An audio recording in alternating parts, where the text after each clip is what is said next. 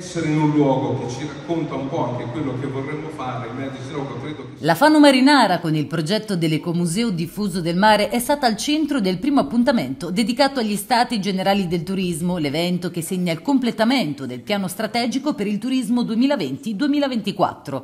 Relatori del primo incontro, svoltosi allo Zeppelin Design a Rosciano di Fano, il sindaco Seri, l'assessore Lucarelli, Luca Ruzza, architetto di Open Lab Company e docente all'Università La Sapienza, Francesco De Melis, antropologo, regista e compositore nonché docente universitario, e Leandro Ventura, direttore dell'Istituto Centrale per il Patrimonio Immateriale del Ministero della Cultura. È un progetto di qualificazione del porto di Fano con eh, interventi che saranno diffusi in un'area piuttosto vasta che va dallo scimitar fino al ponte poi che porta a Gugul dove la tradizione e le tradizioni della marineria fanese troveranno dimora, una dimora contemporanea, digitale, creeremo delle situazioni e delle condizioni di eh, forte impatto e di inclusività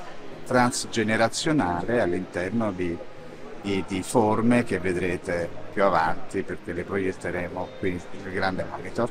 Il secondo appuntamento invece si è svolto oggi pomeriggio ed è stato incentrato sulla fanno gastronomica, sulla valorizzazione delle produzioni ittiche locali e sulla filiera corta. La giornata principale poi sarà quella di domani venerdì 26 gennaio. Il programma prevede diversi confronti sulla Fano città di Vitruvio, sull'importanza di un'offerta territoriale e sull'identità competitiva per affrontare le nuove sfide del futuro.